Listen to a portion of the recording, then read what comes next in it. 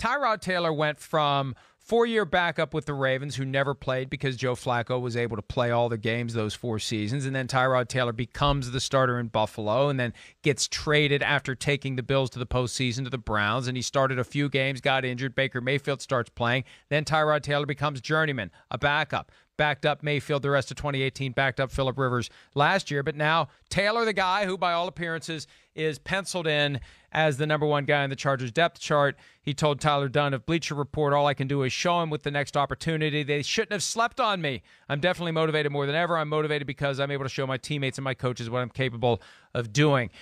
Uh, P- Peter, look, if the Chargers could bring in Cam Newton right now and give him a full and complete physical and check out his foot and his ankle and his shoulder, would they do that? Would they kick the tires and thoroughly explore the the health of Cam Newton with the idea of maybe making him the guy if everything checked out? Probably, Mike. Probably, but not certainly. And I think one of the reasons is that Anthony Lynn in this odd year. Okay. Anthony Lynn really, I mean, one of his favorite players, one of his favorite players on the team is Tyrod Taylor. Been an excellent soldier, uh, has been a great team guy, really helped Philip Rivers, um, and and was a good, you know, team backup guy.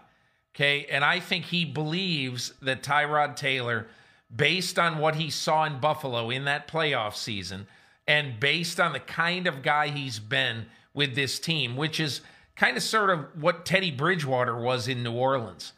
Um, I think he he wants to give Tyrod Taylor this shot. And I'm not saying it's forever. And you make a very interesting point.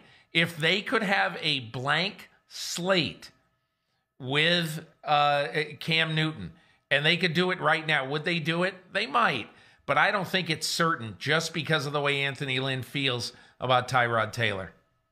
And I keep coming back to my belief that the Chargers need to embrace the fact that they are in LA. And I understand that they think they're going to draw in fans if they win games. And even the concept of drawing in fans seems alien right now because of the reality that we're inhabiting, but the idea of getting people to follow the team, watch them on TV, buy the jerseys. Cam Newton is a guy that can do it. And even if they go 12 and 4 with Tyrod Taylor, I don't think that's enough to win the battle in LA. And and maybe the disintegration of the Rams is the best thing that's happening to the Chargers. Maybe by default, if the Chargers can win, they'll start converting some fans. But to me, it makes it even more sensible to pursue a Cam Newton if they can come to the point where they're they're uh, confident that he's going to be healthy and able to contribute. But you know, I and I don't want to downplay Tyrod Taylor's abilities. He has shown he can win, Peter. I just don't know how far he can take a team. We've seen Cam Newton take a team to a Super Bowl.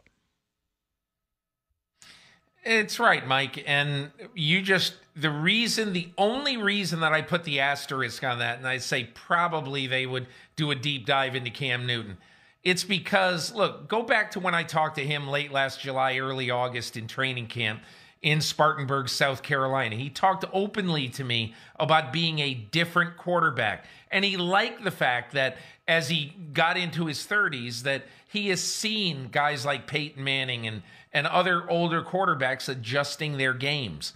And so he was looking forward to that.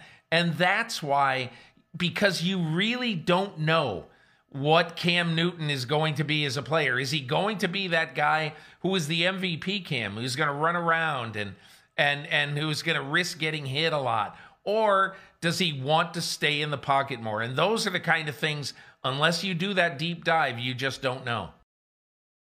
Hi, I'm Mike Tirico, and thanks for watching. Make sure to hit subscribe for the latest news and highlights from NBC Sports.